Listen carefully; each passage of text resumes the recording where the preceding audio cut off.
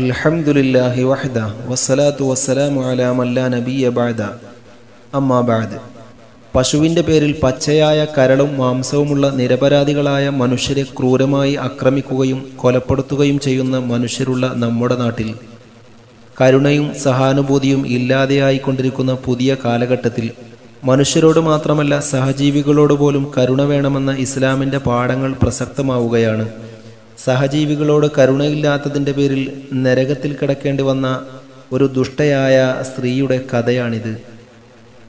ഒരു നാൾ പ്രവാചകർ സൊല്ലാഹു അലഹി വസ്ലമ തങ്ങൾ ആ ദുഷ്ടയായ സ്ത്രീയുടെ കഥ അനുചരന്മാർക്ക് പറഞ്ഞുകൊടുത്തു അവൾ ആ പൂച്ചയെ നിർദ്ദയം ദ്രോഹിച്ചിരുന്നു. ആഹാരം പോലും ശരിക്ക് കൊടുത്തിരുന്നില്ല. ഇത് കാരണം പൂച്ച മെലിഞ്ഞു മെലിഞ്ഞു വന്നു. അതിന്റെ രോമമെല്ലാം കൊഴിഞ്ഞു തുടങ്ങി. പൂച്ചയുടെ ഉടമസ്ഥ ഒരു മുൻകോപിയുമായിരുന്നു. ശുണ്ടി വരുമ്പോഴെല്ലാം അവൾ പൂച്ചയെ ഉമ്മറത്തേക്ക് തൂക്കിയെറിയും. കൊടുന്തണുപ്പുള്ള രാത്രികളിൽ പാവം പൂച്ച പലപ്പോഴും തെരുവിൽ നട്ടം തിരിയേണ്ടി വന്നു. ക്രമേണ പൂച്ച യജമാനത്തിയെ കണ്ടാൽ പേടിച്ചു വിറക്കാൻ തുടങ്ങി.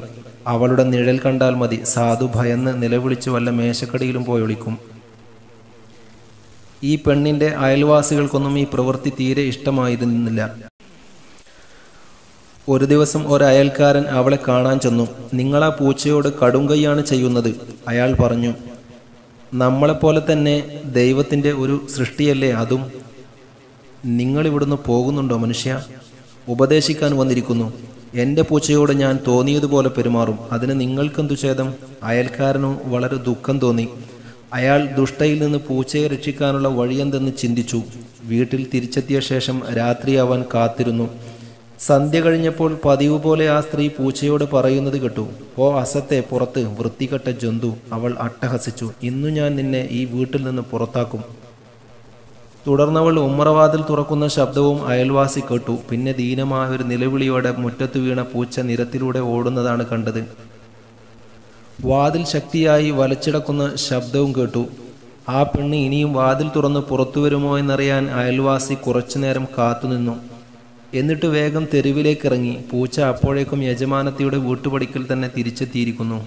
തനിക്കു വേണ്ടി ഇനിയും വാതിൽ തുറന്നേക്കുമോ എന്ന് വെറുതെ പ്രതീക്ഷിച്ച് ആ പാവം കണ്ണീരോടെ കാത്തിരിക്കുകയായിരുന്നു. യജമാനത്തിയുടെ വീട്ടുവാതിൽക്കൽ കണ്ണുനട്ട് ദയനീയമായി കരഞ്ഞുകൊണ്ടുള്ള ആ ഇരിപ്പ് കണ്ട് നല്ലവനായ അയൽവാസിയുടെ കരളലിഞ്ഞുപോയി. അയാൾ ഓടിച്ചെന്ന് വാരിയെടുത്തു. ഹോ നീ വല്ലാതെ ക്ഷീണിച്ചു പോയലടാ മോനെ എന്ന് പറഞ്ഞ് വാത്സല്യപൂർവം അതിനെ തലോടിക്കൊണ്ടിരുന്നു. സ്നേഹത്തിന്റെ സ്പർശനമേറ്റപ്പോൾ തന്നെ പൂച്ച കരച്ചിൽ നിർത്തി. വാ നമുക്ക് എന്റെ വീട്ടിലേക്ക് പോകാം. നിനക്ക് ഞാൻ വയറു നിറച്ച ആഹാരം തരാം എന്ന് പറഞ്ഞ് അയാൾ പൂച്ചയുമായി തിരിച്ചു നടന്നു. വീട്ടിലെത്തിയ ഒരു പാത്രത്തിൽ ഭക്ഷണമെടുത്ത് പൂച്ചയുടെ മുമ്പിലേക്ക് നീക്കിവെച്ചു. വളരെ ആർത്തിയോടെ അത് ഭക്ഷണം കഴിച്ചുകൊണ്ടിരുന്നു. പാത്രം കാലിയായപ്പോൾ അയാൾ വീണ്ടും വിളമ്പിക്കൊടുത്തു. പാവം അതും കഴിച്ചു. ആ മനുഷ്യൻ പിന്നെയും പിന്നെയും പൂച്ചയ്ക്ക് ആഹാരം കൊടുത്തു. അവസാനം വിശപ്പടങ്ങിയ ആ പൂച്ച അവിടെ വീട്ടിൽ തന്നെ സുഖമായി കിടന്നുറങ്ങി. പിറ്റേന്ന് രാവിലെ ഉമ്മറത്ത് പൂച്ചയെ കാണാൻ ഞാൻ മൂദേവിക്ക് കലി വന്നു. അവൾ അതിനെ എല്ലായിടത്തും തിരഞ്ഞു. തെരുവിലും ചന്തയിലുമെല്ലാം അന്വേഷിച്ചു. എവിടെ കണ്ടെത്താൻ അവൾക്ക് ശുണ്ടി മൂത്തു. പൂച്ചയെ ആരോ കട്ടുകൊണ്ടുപോയിട്ടുണ്ട്. അവൾ സ്വയം പറഞ്ഞു. പിന്നീടാണ് തലേ ദിവസം തന്നെ ഉപദേശിക്കാൻ വന്ന അയൽക്കാരനെ കുറിച്ച് ഓർത്തത്. ആ പഹയൻ തന്നെയായിരിക്കും. അവൾ വേഗം അയൽ വീട്ടിലേക്ക് ഓടി. അയൽക്കാരൻ വാതിൽ തുറന്നു. എനിക്കറിയാം നിങ്ങൾ തന്നെയാണ് എന്റെ പൂച്ചയെ കട്ടത്. കരിങ്കള്ളൻ എനിക്കിപ്പോൾ തന്നെ എന്റെ പൂച്ചയെ കിട്ടണം. അവൾ ഒരു മര്യാദയുമില്ലാതെ പറഞ്ഞു.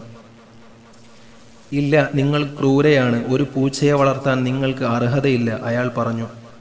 അത് പറയാൻ നിങ്ങളാരാ? മര്യാദയ്ക്ക് എന്റെ പൂച്ചയെ തരുന്നതാണ് നല്ലത്. അവൾ കോപം കൊണ്ട് വിറക്കുന്നുണ്ടായിരുന്നു. മേലിൽ പൂച്ചയെ നന്നായി വളർത്തിക്കൊള്ളാമെന്ന് വാക്ക് തരാമെങ്കിൽ ഞാനിതിനെ നിങ്ങൾക്ക് തിരിച്ചു തരാം. ഒടുവിൽ അയാൾ പറഞ്ഞു. ഗത്യന്തരമില്ലാതെ അവൾക്കത് സമ്മതിക്കേണ്ടി വന്നു. വാക്കാണല്ലോ അല്ലേ? അതെ വാക്ക് തന്നെ. അവൾ തന്നെ കുടിച്ചു നന്നായി ഭക്ഷണം കൊടുക്കണം. ചുണ്ടി വരുമ്പോൾ പൂച്ചയോട് തീർക്കരുത്. രാത്രി പുറത്തേക്ക് വലിച്ചെറിയരുത്. എല്ലാം ഓർമ്മയുണ്ടല്ലോ? തീർച്ചയായും. അവൾ ചിരിച്ചഭിനയിച്ചുകൊണ്ട് പറഞ്ഞു ഇന്നു മുതൽ ഞാനിതിനെ നന്നായി വളർത്തിക്കൊള്ളാം. ആ സ്ത്രീ വാക്കുപാലിച്ചോ ഇല്ല. അശേഷം വാക്കുപാലിച്ചില്ല അവൾക്കതിന് ഉദ്ദേശവും ഉണ്ടായിരുന്നില്ല പൂച്ചയെ തിരിച്ചു കിട്ടാൻ അവൾ അയൽവാസിയോട് മനഃപൂർവം കളവ് പറയുകയായിരുന്നു. പൂച്ചയുമായി വീട്ടിൽ തിരിച്ചെത്തിയ അവൾ അതിനോട് മുമ്പത്തെക്കാളും ക്രൂരമായി പെരുമാറി. കഴുത്തിൽ തുടലിട്ട് അവൾ ആ പാവത്തിന് ഒരു കസേരക്കാരിൽ കെട്ടിയിട്ടു ഭക്ഷണം പോയിട്ട് പച്ചവെള്ളം പോലും കൊടുത്തില്ല. അനേക ദിവസം പട്ടിണി കിടന്ന് ഒടുവിൽ ആ സാധു മൃഗം ചത്തു. ഹോ എന്തൊരു ക്രൂരത. പ്രവാചകന്റെ ഒരു അനുചരൻ അത്ഭുതം പ്രകടിപ്പിച്ചു. ഒരു പെണ്ണിന് ഇത്രക്ക് ദുഷ്ടയാവാൻ കഴിയുമോ? മറ്റൊരാൾ ചോദിച്ചു. നബിതങ്ങൾ പറഞ്ഞു അതെ. ഈ ചെയ്തി മൂലം അവൾ ദൈവകോപം സമ്പാദിക്കുകയും ചെയ്തു. ഒരു സാധുജീവിയോട് ക്രൂരത കാട്ടിയതിനാൽ അള്ളാഹു അവൾക്ക് നരകം നൽകുകയും ചെയ്തു. സഹോദരങ്ങളോടും സഹജീവികളോടും കരുണയോടെ വർത്തിക്കാൻ അള്ളാഹു നമുക്ക് തോഫീക്ക് നൽകട്ടെ. നാഥനായ റബ്ബിന്റെ കാരുണ്യം അള്ളാഹു നമ്മുടെ മേൽ വർഷിക്കുകയും ചെയ്യട്ടെ. ربنا آتنا في الدنيا حسنة وفي الآخرة حسنة وقنا عذاب النار. آمين. برحمتك يا أرحم الراحمين.